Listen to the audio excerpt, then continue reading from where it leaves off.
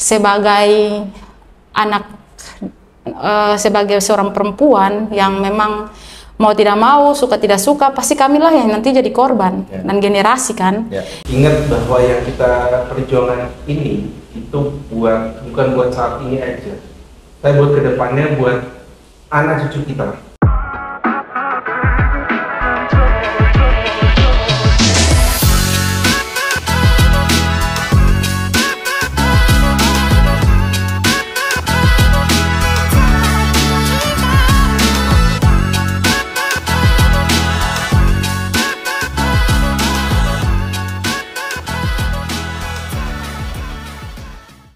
selamat sore teman-teman semua.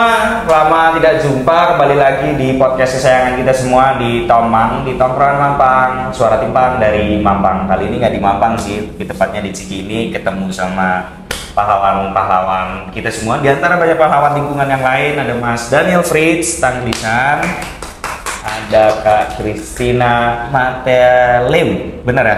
Rumah Latu. Rumah Latu. Maaf, ada Kak Kristina Rumalatu dari Maluku. Ini kayak podcast yang terakhir ada dua yang seberangan jauh nih, satu dari timur, satu juga dari Jawa yang kemarin. Ini juga sama, Mas eh, Daniel aktif kemarin misalnya memperjuangkan kondisi lingkungan di Karimun Jawa. Juga Kak Kristina aktif memperjuangkan ketika pengalamannya di Maluku. Ya. Apa kabar Mas Daniel Kak Kristina? Baik, begitu. Ya, eh, di sore hari ini kayaknya agak mas bisa mungkin sambil minum, tapi lagi dipesenin nih mas. Mudah-mudahan hasil produksi masyarakat karena saya ingat betul di sidang mas Daniel itu ada sakti saksi dari masyarakat. Karena salah satu yang apa sih bukti Mas Daniel ini pernah berperan di masyarakat dari desa apa itu? Saya lupa pokoknya punya sejarah iya. Tempur. Desa tempur terus katanya aktif cara mempacking bikin kopi dan segala macam ya ya makanya ini ketahuan di kopi apa iya benar. Karena bukan dari Wali. Kalau Wali sih harusnya kopi asli dari masyarakat. Juga Wali beberapa produk dari nah, Maluku uh, pala. Oh iya. Iya kan, banyak dong. Cengkeh, pala, pala. gudangnya. Iya banyak banget di sana uh, yang diproduksi secara lestari. Mas Daniel boleh cerita uh, awal mula ke dunia. Kenapa sih tiba-tiba mencintai lingkungan atau memang dari sananya memang mencintai lingkungan terus sering keliling-keliling dan menemukan tempat dan akhirnya jatuh cinta pada Karimun Jawa gitu. Oke. Boleh gini? Boleh, boleh. Bebas, Mas. Bebas. Uh, ya. Uh, kalau dibilang mencintai lingkungan itu kapan mencintai lingkungan? Terus kenapa apa yang bisa menjadi di apa memacu mencintai lingkungan? Itu pertanyaan yang bagi saya ya bukankah seharusnya gitu? Seharusnya. Aku sepakat mas, tapi kayaknya rasa-rasanya dulu aku juga sama temen-temen SMA gitu ya nggak sadar-sadar amat maksudnya itu ya kita seperti nggak sadar bahwa kita itu hidup butuh udara yang bersih sampai kita akhirnya ya kalau saya jujur pada titik ketika berkuliah baru sadar gitu bahwa ini hal yang penting. Kalau enggak kan bangun tidur hidup terus kerja aktivitas ya kita sama sekali itu buang sampah ya masih sembarangan dan lain-lain. Tapi betul mas sepakat bahwa pertanyaan itu ya seharusnya bukankah itu menjadi seharusnya? Karena kita harusnya menyadari ini tempat tinggal dan tempat hidup kita hmm. gitu ya. ya. Iya ya ruang hidup gitu loh ya. ruang hidup tapi kalau ditanya uh, mulai apa dia apa kesukaan atau kecintaan atau suka di alam gitu jalan-jalan alam itu ya dari pertanyaan-pertanyaan berkali-kali ditanya, ditanya sama media ya. sama sama Pak uh, eh, LSM saya jadi mikir mulai kapan sih sebenarnya soalnya bagi saya itu kok suatu yang uh, dari sononya yeah. tapi ternyata setelah dipikir-pikir saya saya pikir-pikir itu mungkin dimulai saya rasa sih dimulai ketika dari kecil yeah. ketika orang tua itu uh, suka ngajak jalan-jalan ke pantai misalnya oh, ke pantai uh, lalu uh, bukan cuma sekadar apa weekendan tapi ya Ya. sampai nginep sana Ya. Eh, apa sampai camping juga sama Oke. keluarga Ya. dan yang saya ingat banget itu eh dulu ayah saya tuh punya eh, kijang kotak udah ketahuan kan zaman berapa tuh Iya, iya. Sampai gak enak menyebut zamannya, Mas. kijang kotak yang dulu aku ingat banget warnanya hijau itu kan eh, belakangnya kan pickup ya Ya. Pickup, lalu itu dibikin ya ayah itu dia eh, Kayak terpalan gitu ya buat tutup ya, terpal, jadi dibikin apa rangka dibikin Ya. terpal lalu dikasih eh, kasur Ya, ya. lalu kami sekeluarga dengan nenek juga waktu itu eh, jalan-jalan Touring gitu, semacam touring, gitu. touring Oh. dari dari Jakarta kan aku lahir di sini Ya. Jakarta sampai Bali delapan orang Oh, Oke. nah terus baliknya lewat pantai selatan Oke. dan itu ya ke ya touring ya ke ke ke, ke alam ke apa ngelewatin jalan Ya. itu dan uh, ke candi-candi Ya. ngelewatin candi-candi ngelewatin uh, ke apa ke keraton atau ke mana-mana gitu Ya. di, ketika di Bali Ya. juga ke ke pura-pura gitu ke Ingatan itu yang melekat di Mas Ya, Daniel dan tentunya jauh berbeda ya perubahan zamannya. Maksudnya di masa-masa kecil itu pasti udara sangat bersih, alam juga kayaknya masih asri banget tuh kayaknya di Indonesia. ngalamin nggak bahwa dulu itu bisa jeburan-jeburan itu di, di Ancol Wih, iya. bisa Jeburan di maksudnya mandi itu nih. mandi di Ancol Iya iya iya sekarang sih sekarang kayaknya enggak. kayaknya enggak. Kalau di Maluku mau ya. Kalau Kak Kristina eh, sejak kapan? Ini kayaknya momennya agak berbeda gitu karena alamnya pasti asri banget di sana dan lain-lain dan kemudian masuk ke ya bisa dikatakan menjadi pembela lingkungan karena ada hal-hal ya tertentu ya pastinya. Ya, jadi kalau misalnya ditanya sejak kapan, Ya. eh, bagi saya penyatuan kami sejak bahkan di dalam kandungan ibuku dan kami masyarakat adat itu bergantung sama alam dan itu ruang hidup kami. Ya. Bahkan dari kecil juga, misalnya uh, tempat bermain kami selain memang di pekarangan rumah, Ya. karena kami hidup di negeri atau desa sebutan dalam bahasa Indonesia.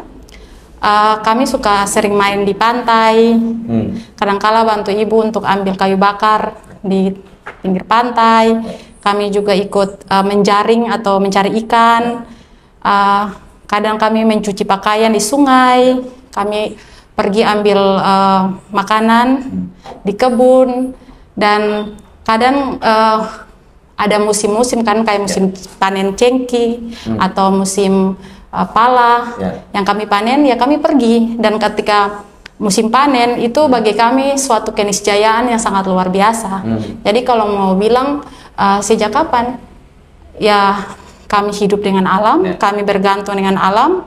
Ka- Kakak saya juga sekolah karena bukan cuma menggantungkan kepada gaji mama Ya, saya yang ya. PNS saja, tetapi kami juga ada cengkeh, Ya. kami punya hasil kebun juga, sehingga alam bagi kami adalah uh, saudara, ibu. Ya. Uh, makanya kalau sering saya dan ibu atau dengan ayah saya sebelum meninggal kami ke hutan dan musim kayaknya belum menentu, kami ajak interaksi sama pohon. Oke. Uh, ibuku biasa langsung bilang uh, berbuahlah ini kami mau panen untuk uh, kirim ke anakku sekolah. Terus benar-benar buah kayak kenari dan lain sebagainya. Sehingga bagi saya alam itu adalah uh, lebih dari sekedar ibu. Dia memberikan nafas kehidupan Ya. dan penghidupan yang tiada tara. Bahkan uh, alam itu segalanya bagi kami. Ya. Gitu. Ya. Ya. Terus uh, pertanyaan lagi tadi, kenapa uh, apa sih yang membuat saya tuh harus berjuang? Hmm. Tidak punya pilihan lain. Karena itu Eh, sebagai saudara juga masa nggak diperjuangkan? Ya. Gitu Kalau kami tidak berjuang, siapa yang berjuang? Betul. Itu tanah kami, itu gunung tanah dan lautan kami. Kami harus memperjuangkan itu karena kami hidup di situ. Itu saudara kami, ibu kami yang harus kami jaga. Ya. Jadi keadaan lah yang memaksa kami dan kesadaran untuk ya, ayo. ah, angkat lengan bajumu dan perjuangkan hakmu. Situ. Tapi tradisinya nggak jauh berbeda sebetulnya. Yang pada umumnya kayaknya masyarakat Nusantara begitu ya. Jadi Ya. di Jawa di masa lampau itu eh, saya pernah KKN masa kuliah itu di eh, di desa di salah satu desa di Klaten ada eh, mbah-mbah gitu yang usianya 97 tahun. Itu setiap jam 2 malam itu ngajak saya ke sawah karena itu jam untuk mengairi eh, sawah dan harus diajak ngobrol. Jadi kayak saya dulu mikirnya itu cuman mitos gitu, ternyata itu memang tradisi gitu. Ternyata secara ilmiah juga katanya sudah bisa dibuktikan ya antara tanaman yang dikasih lagu bagus sama tanaman yang dikasih lagu buruk, terus pertumbuhannya cepat yang tanaman di dikasih lagu bagus. Sama juga tanaman dicuekin sama tanaman diajak ngobrol, ternyata pertumbuhannya jauh lebih bagus. Jadi memang sebagai sesama makhluk ternyata memang saling mengerti gitu komunikasinya dan tradisi itu masih dijaga sampai sekarang di Maluku ya. Nah, eh, Mas Daniel, kalau mulai dari suka tadi kemudian dibilang kita menyadari bahwa sekarang ya kita sama-sama menyadari bahwa wah ya memang seharusnya atau kita harusnya menjaga lingkungan. Tapi kenapa dari perasaan itu bisa kena jerat pasal terus? Boleh cerita, Mas Daniel? Ya mulai cerita dari mana nih ya? Eh, ya kalau dilihat di, dari tak dari tak lanjutin gitu. Ya. Eh, eh, ke ke ke, ke Jepara Ya. dari lahir besar di kota besar ini gitu loh di Jakarta. metropolitan di Jakarta. Ya. Tapi saya nggak merasa punya hati, nggak pernah nggak merasa punya rasa, nggak merasa punya apa eh, Kayak nggak menyatu gitu ya sama nggak- kotanya. di sini lah. Ya oke, ini ya saya lahir besar di sini, Ya. tapi nggak ada nggak ada rasa itu. Ya. Tapi ketika saya eh, lulus kuliah, Hmm. terus eh, mulai eh, ke Semarang, Hmm. lalu dari Semarang ke Jepara, dari Jepara ke Karimun, itu Ya. jadi hidup saya itu jadi dari kota besar tambah tambah kecil gitu. Ya, ya.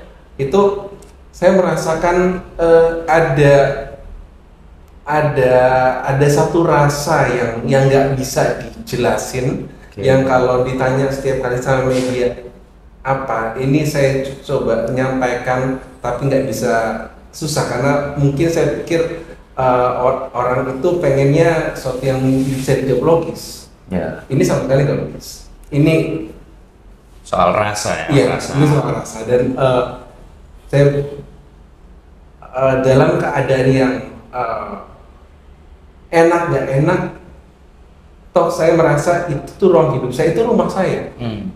Uh, Jepara Karimun Jawa itu rumah saya. Uh, dan kalau rumahnya itu di ada yang merusoki itu ada yang ada yang uh, Mengganggu. rusak mengganggu Ya. itu terus kalau nggak marah itu aneh. Iya. Nah, Jadi- jadi ketika marahnya itu, uh, ketika marah terus uh, apa mencoba membuktikan terus ngomong di medsos waktu saya mencoba me- me- menarik perhatian masyarakat luas Ya, ayo dong ya. perhatikan itu Uh, itu eh iya dan ternyata toh kita lihat bahwa ngomong apa pun juga di medsos ngomong apa pun juga di mana pun Hmm. mau keras kek mau eh, apa tersirat tersirat saya Ya. kalau menuliskan dengan tersirat kayak gitu mau halus mau nggak ngomong tetap aja bisa di- diperkarakan kok Betul. Karena ya macam-macam sekarang mah apa-apa bisa diperkarakan toh mau bicaranya lembut, gak ada ukurannya gitu Iya. segala macam gitu. Tapi artinya kan Mas Daniel sendiri itu bukan proses bukan kan anggapan orang banyak nih Mas ya. Maksudnya eh, macam saya misalnya terus datang ke Bali terus eh, langsung upload terus ikut apa menyuarakan hal-hal lain gitu. Tapi artinya Mas Daniel itu bukan yang seperti saya bahkan mungkin bukan turis yang tiba-tiba datang melihat kekacauan yang ada terus kita upload. Enggak tapi Mas Daniel ada proses jatuh cinta terhadap satu daerah. Ternyata tinggal cukup lama berarti ada proses yang cukup panjang yang dijalani Mas Daniel bersama Jepara dan Karimun Jawa dan menetapkan diri bahwa itu semacam bisa dikatakan rumah kedua bagi Mas Daniel berarti. Iya, bisa dikata rumah memang sudah jadi rumah. Bahkan saya melihat di Jabodetabek ini rumah kedua saya malah. Muhammad itu di, kan. di sana tempat rumah utamanya hari ini ya. Ya, ya tentu saja gitu. Di mana pun kita semua tinggal, kalau rumah kita dibobol, rumah kita dirusak jendelanya ya wajar saja kalau kita marah di mana pun. Saya kira juga sama gitu. Nah, marah kan bagian dari ekspresi manusiawi ya. Setiap orang punya ekspresi itu. Demikian ya Kristina, dirimu mau marah, sedih, jengkel, nggak mungkin ketawa gitu ya. Kampung indahmu apa sih yang terjadi sama kampung indahmu?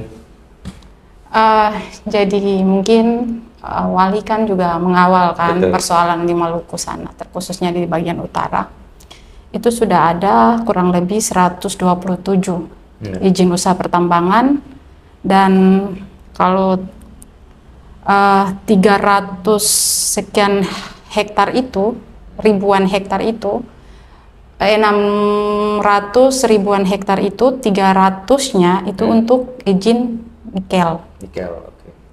Sementara eh, secara geografis Maluku ini kan sebagian besar adalah Pulau-pulau kecil. pulau-pulau eh, laut dan kami berlindung di pulau-pulau kami yang walaupun secara eh, nasional, secara undang-undang dia itu tidak masuk dalam penetapan pulau-pulau kecil. Ada beberapa. Oh iya ada beberapa. Ya. Ya, betul. Tetapi kalau kita lihat itu emang pulau kecil kak. Ya, ya, Ah. ya, ya, Dan memang eh, ekspansi nikel ini kan masuk sebagian besarnya tuh pulau-pulau kecil. ya.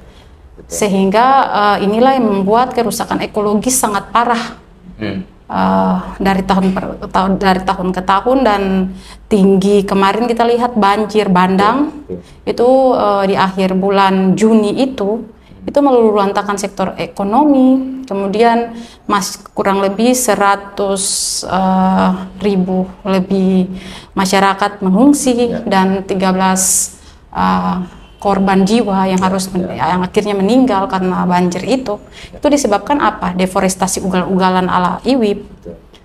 Nah, itulah yang membuat kami tuh pada tanggal 1 Agustus melakukan protes. Ya. Uh, jadi koalisi masyarakat sipil ini ada teman-teman Jatam, kemudian Enter Nusantara, Ya. aktivis nasional, Ya, ya. uh, dan masyarakat NTT dan Maluku. Ya.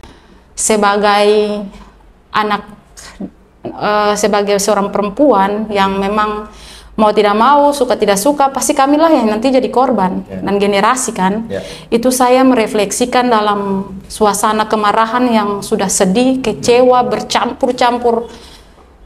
Aduh, tidak bisa lagi terbendung pada saat itu yang membuat kami tuh berjuang ya karena kerusakan yang sudah parah Ya. dan ya Faktanya, faktanya bulan Juni Iya. banjir besar ya di Halmahera khususnya. Iya, Itu- Sungai Kobe tercemar, Betul. terus Sagia tercemar, Betul.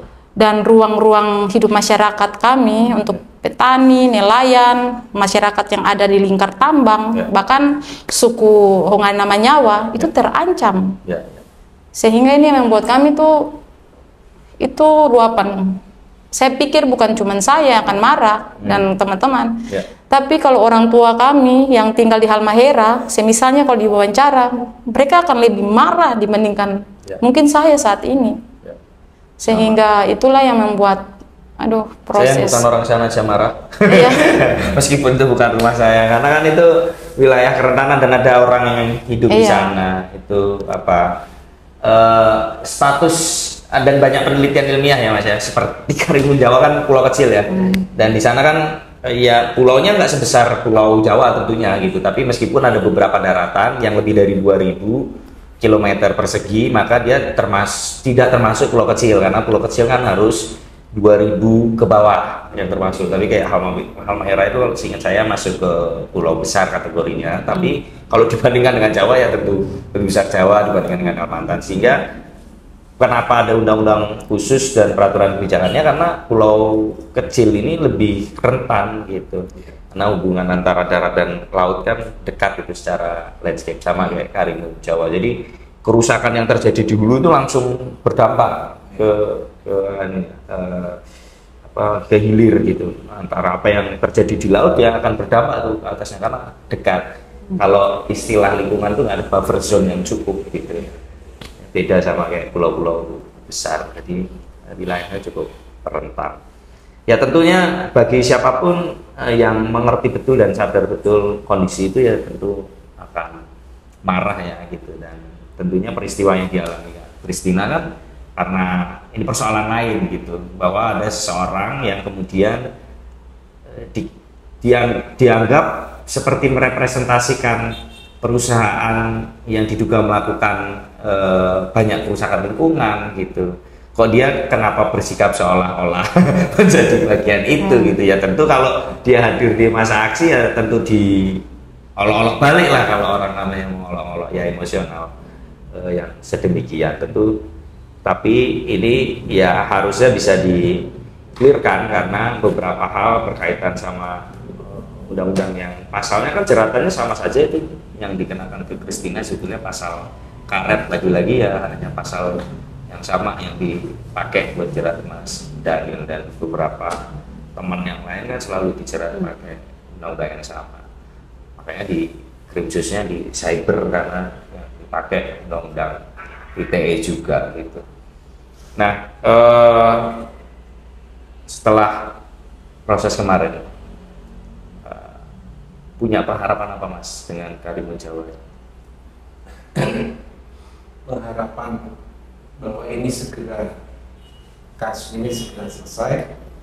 Eh, para penambah yang sekarang lagi di sidang hmm. sudah ditahan dan lagi di sidang itu uh, jadi kami mengharapkan pengadilan negeri Jepara itu bisa memberikan uh, keputusan yang seadil-adilnya, yang pro natura, ya. yang uh, adil-adilnya juga bagi kami, bagi kami masyarakat yang yang uh, merasakan hidup yang hidup ya dari, dari alam yang sedang dirusak ini. Ya. Uh,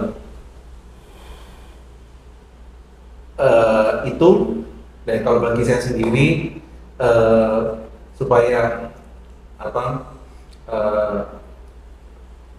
hakim MA yang menangani kasus kasasi saya ya. itu uh, juga sama jadi uh, juga uh, uh, punya perspektif, punya, punya perspektif, posisi punya, yang sama, ya, punya posisi perspektif alam ya. yang pro natura juga dan uh, melihat uh, intensi baik saya dan uh, ya segera secepat mungkin memutuskan saya bebas murni. Ya. Uh, jadi dua hal ini itu saling berkaitan. Ya. Dan kalau ini segera selesai, kami bisa secepatnya mulai dengan tahap pemulihan. Memang sudah ada rencana. Sudah ada rencana, ya. sudah ada rencana. Dan itu memang ya kami nggak mau nunggu ini sampai kapan sampai kapan ya udah. Ya. Ini sudah di sudah kami pikirkan. Ya. Dan ini kami nggak nunggu pemerintah pemerintah mungkin pemerintah Kabupaten Jepara sudah punya program-program memang program-program untuk itu.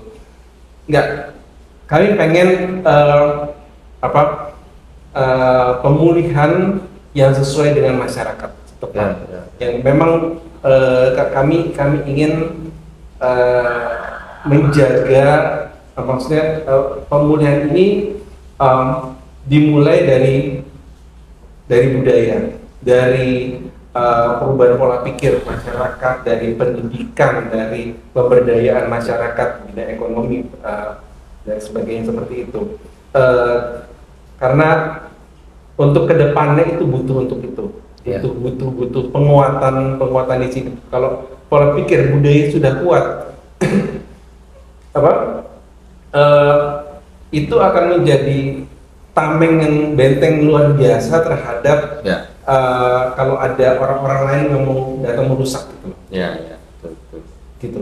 Terkadang juga yang datang merus, ya pak, yang merusak suatu daerah itu biasanya bukan dari berawal dari ide orang situnya sendiri gitu, atau ya butuh support orang luar gitu. Kalau dalam konteks Karimun Jawa yang saya dengar kan ada pemodalnya gitu ya, ya. bukan yang di situ dan tadi Mas Daniel, saya sih juga berharap yang sama ya. Tapi pemulihan saya berharap negara dong yang melakukan juga karena kan wilayah pemantauan dan pengawasan kan harusnya ada pada negara ya. Harusnya Kenapa gitu. ada tambah ilegal di situ? Harusnya sih gitu. Tapi nanti kalau diharapkan sama ya. negara lagi, ya ampun. Uh, Tapi bagian dari kontribusi Mas Daniel dan kawan-kawan tentu itu nggak perlu dikurangi juga ya tetap dilakukan. Tapi negara juga harusnya melakukan sesuatu. Kalau negara mau melakukan sesuatu, Ya. oke untuk pemulihan, libatkan masyarakat. Betul. betul. Libatkan masyarakat. Kenapa? Karena yang merasa muda itu masyarakat sendiri. Betul. betul. Ini mau sebenarnya mau ngapain. Jadi eh, jangan bikin apa kebijakan-kebijakan top down gitu. Ya. Tapi ya oke ngumpullah sama kami kami. Dan eh, tapi sering kali FGD FGD dilakukan itu itu nggak menghasilkan eh, hasil yang memang dimingini sama masyarakat. Ya. Tapi Mas Daniel percaya sama masyarakat bisa berubah. kan orang kadang pandangannya minor, pemerintah kadang menganggap oh masyarakat nggak bisa, udahlah kebijakannya gini aja ikut negara. Kan sering kali begitu tuh. Jadi masyarakat nggak dilibatin. Tapi Mas Daniel dari proses selama ini justru percaya ya masyarakat bisa berubah, masyarakat diperkuat dengan kebudayaannya, narasi kebudayaannya diperkuat melalui proses pemberdayaannya pasti bisa berubah jauh lebih baik. Bisa dan itu sudah terbukti walaupun belum dalam skala yang buar banget Ya. yang besar banget tapi sudah terbukti. Di komunitas di di Kalimantan. komunitas lah di Karimun Jawa. Orang-orang sejak ya sebelum eh, kesadaran akan akan lingkungan yang bersih Ya, ya. eh, itu sudah mulai sejak bertahun-tahun yang lalu sebenarnya. Ya kayak ada masyarakat tuh bikin acara bersih-bersih pantai bersih-bersih pelabuhan bersih-bersih kampung. Ada hotel kalau ngomong pariwisata ya ada hotel yang yang eh, bikin apa eh, penyulingan air atau Oh, uh, sistem apa sistem sampahnya itu uh, manajemen sampahnya itu diperbaikin lalu ada apa uh, kayak kan uh, kapal-kapal wisata yang bawa tour snorkeling itu Oke. itu sudah banyak yang kalau saya rasa sih saya, saya rasa semuanya sudah nggak ada yang pakai aku aku gelas lagi gitu Oh. jadi pakai galon Ya. Itu atau bahkan eh, dari apa eh, persatuan biro wisata di Hmm. sana itu ngedarin tumbler Oh, kayak gitu. oke. Dan sekarang ini boleh dong kasih apa agak Ya, eh, boleh. promosi-promosi dikit. Iya harus dong mas. Eh, Promosi sesuatu yang baik mah harus dipromosikan. nah, eh, Kalau tambang mah no. Nggak di tambang, nggak ada promosi buat tambang. di sana itu di Karimun Jawa sudah ada trash hero, trash hero Karimun Jawa. Oke. yang yang anak-anak itu di, di, di- diajak gitu loh, anak-anak diajak untuk eh, ke pantai yang Oh, untuk oke. bersih gitu loh. Eh, ada pendidikan ke anak-anak Hmm. untuk untuk eh, apa lingkungan yang bersih kayak gimana, sadar lingkungan. Dan juga saya Hmm. sama eh, apa teman saya di sana, Ya. teman baik saya Bang Jack namanya sering muncul di media ya kan. Ya. Eh, Bang itu bikin satu um, paket wisata, Oke. paket wisata yang um, berhubungan sama jadi menga- mengajak orang untuk ngerti sejarah, budaya dan alam Karimun Jawa. Karimun Jawa. Oke. Uh, jadi uh, perkebunan rumput laut kayak gimana, Oh. Terus sejarah dulu dulu kayak gimana. Oke. oke. Uh, kalau malah dulu diceritakan sebelum adanya pemerintah itu kayak gimana, malah kok lebih baik. Gitu. oke, oke. Oh jadi malah ada pak, malah dibikin paket wisata ya. Jadi kayak paket wisata edukasi ya. betul? Iya. Keren, keren. Busuan-busuan itu. Ya, ya, ya. Tapi memang harus harus dipulihkan sih mas itu melihat apa hasil apa cemaran tambak udangnya itu betul-betul oh lu bisa separah ini padahal Karimun Jawa kan cakep banget itu ya pernah ditetapkan UNESCO atau apa gitu sebagai wi- wilayah uh, apa gitu ya Biosfer. cagar biosfer benar. Cagar biosfer kan artinya cagar ruang hidup. Betul. Dan itu Karimun Jawa itu satu bagian dari cagar biosfer gede banget. Ya. Karimun Jawa Jepara Mulia, sak Ya. gunung-gunungnya juga gitu. Ya, dengan keanekaragaman hayatinya yang masih terjaga dengan baik. Aku boleh apa? Boleh, boleh. sesuatu maksudnya eh bertahun-tahun yang lalu eh, Pernah ke Maluku? belum tapi itu yang pengen jadi Harus. eh, berapa bertahun-tahun ya berapa tahun kira-kira sebelum sebelum 2020 sebelum Ya. pandemi ya eh, saya me- mewajibkan diri saya sendiri untuk eh, minimal setahun sekali itu ke Indonesia Timur Oke. alasannya satu root saya di Indonesia Timur Hmm. saya Timur Ya, ya, ya. di Sulawesi satu lalu Sulawesi sama Indonesia Timur kalau diakui Ya.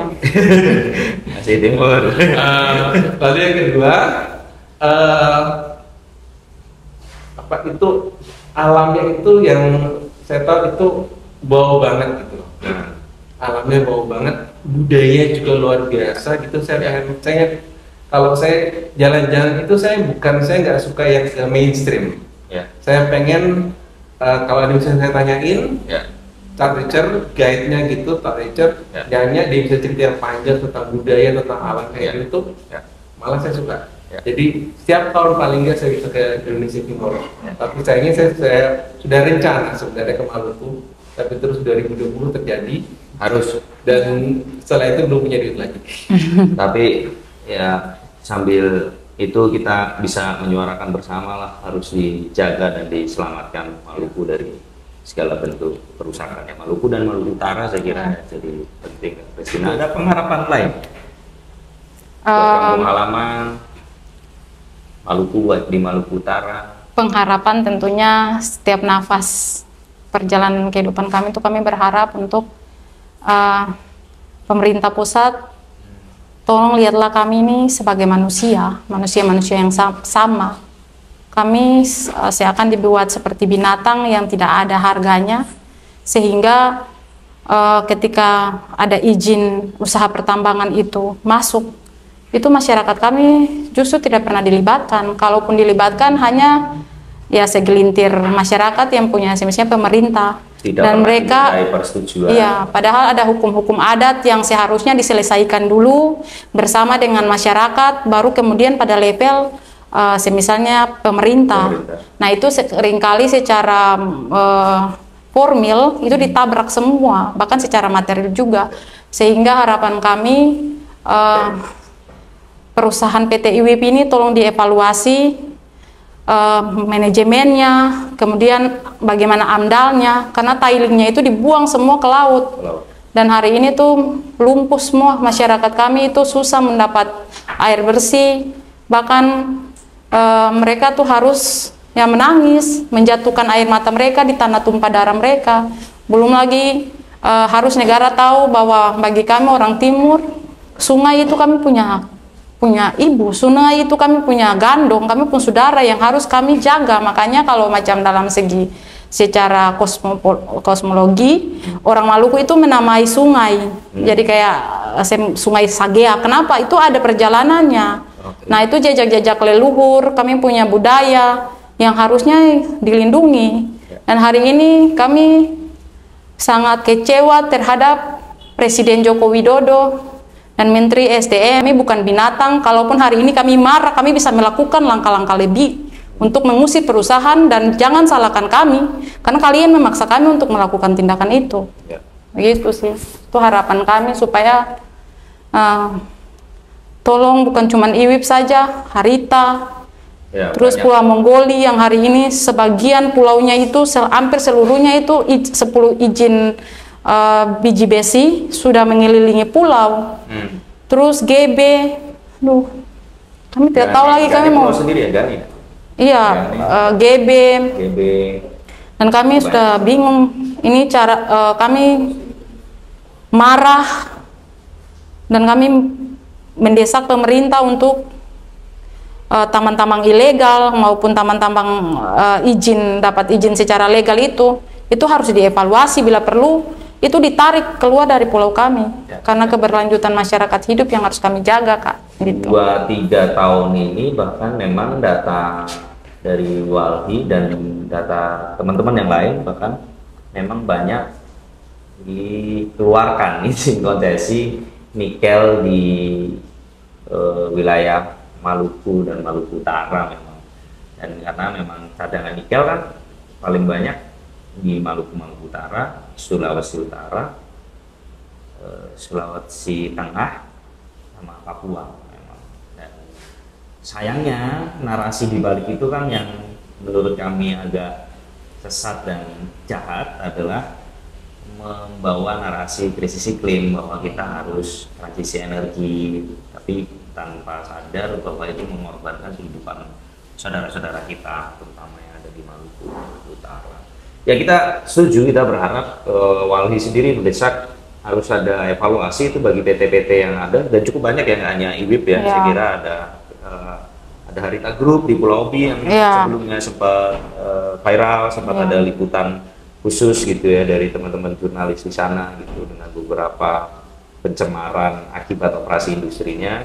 Seharusnya pemerintah bisa bersikap lebih tegas untuk bisa melakukan evaluasi dan melakukan moratorium perizinannya. Apabila ada pelanggaran ya jangan ragu-ragu untuk dicabut perizinannya. Saya kira begitu ya, Kak eh. Ada eh, penyemangat terakhir bagi kawan-kawan bahkan yang di luar Maluku, Maluku Utara atau teman-teman saya Indonesia. Ada pesan? Eh, untuk kawan-kawan juangku di seluruh Indonesia, terkhususnya untuk Maluku dari ujung Halmahera sampai Tenggara Jauh, katong harus jaga katong pembunuh tanah. Kalau bukan katong yang berjuang, siapa lagi? Ini untuk katong mau anak cucu. Ingat semua pasangan leluhur dan moyang-moyang, katong saya bisa bikin apa-apa. Katong harus jaga apa yang orang tua sudah bikin per katong.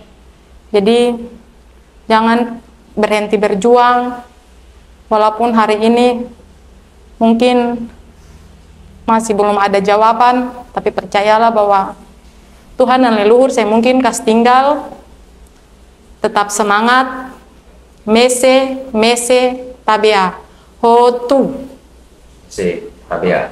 Aku cuma tahu Tabea ya doang Ibu. Karena biasanya kalau di sana Tabea, kalau Sulawesi Selatan Tabe biasanya. Tabea di Maluku Utara. Sulawesi Utara Sulawesi Iya. Utara ya Tabe. Mas Daniel ada pesan buat teman-teman seluruh Indonesia atau yang sedang menghadapi berbagai persoalan Ya, eh, nggak jauh beda sih. Tapi bergerak maju kayak tulisan ini di di kaos saya ini. Eh, jangan takut untuk untuk untuk maju, jangan takut untuk berbicara, jangan takut untuk berjuang terus. Ingat bahwa yang kita perjuangan ini itu buat bukan buat saat ini aja, tapi buat ke depannya buat anak cucu kita ya. saya punya anak tapi saya melihat generasi ke depannya gimana? Dan eh, sebenarnya saya juga punya punya pesan terhadap pemerintah terhadap pemangku kebijakan terhadap aparat.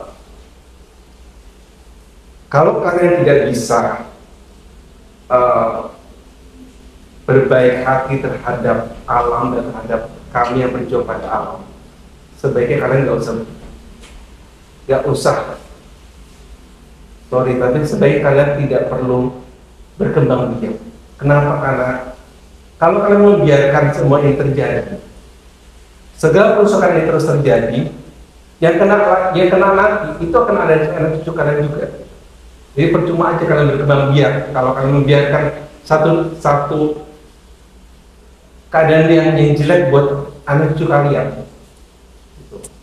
Ya, masa kita mau meninggalkan nestapa. Bagi generasi berikutnya ya. Saya kira juga Kak Kristina, Mas Daniel saya juga bersepakat apa yang saya perjuangkan hari ini tentu belum tentu saya nikmati gitu karena kita yang akan menikmatinya adalah generasi ke depan. Tentu bagi pemerintah, bagi ya itu pemerintah ah, karena dia pemegang kebijakan gitu dan bagi siapa pun eh, stop keserakahan, mulai kontrol diri bahwa bukan hanya generasi kita, generasi saat ini saja yang punya hak terhadap lingkungan yang asri yang masih bisa bisa dinikmati terhadap udara bersih, terhadap pegunungan kita, terhadap laut kita yang bersih, bukan hanya generasi saat ini saja yang berhak menikmatinya. Anak cucu kami juga punya hak yang sama saya kira. Tetap semangat Mas Daniel, Mbak Kristina. Terima kasih atas waktunya. Kita sama-sama berjuang di mana pun sampai ketemu lagi di titik-titik perjuangan ke depan. Selamat sore. Selamat sore. Salam adil dan lestari. Lestari.